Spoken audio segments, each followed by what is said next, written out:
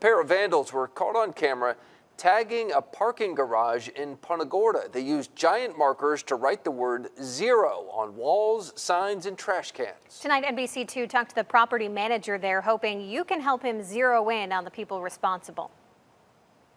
It was pretty disrespectful. It felt pretty aggravating. Jackson Maymont woke up to a headache Wednesday morning, and it wasn't something a cup of coffee could fix. Walk in the garage, and there's about seven, eight spots of graffiti. What looks like teen vandals tagged a parking garage he manages at the Sunloft Center in downtown Punta Gorda. Different signs and on the elevator doors. They wrote zero all over the garage. Immediately he pulls out of his pocket a, a large Expo inkjet marker and just starts writing on the trash cans. Either not realizing or not caring that cameras were recording their every move. Go around the corner, right on the cabinets, go down the wall a little bit, right on the wall. And now he's asking for your help identifying them. Find out who they are and put a stop to it.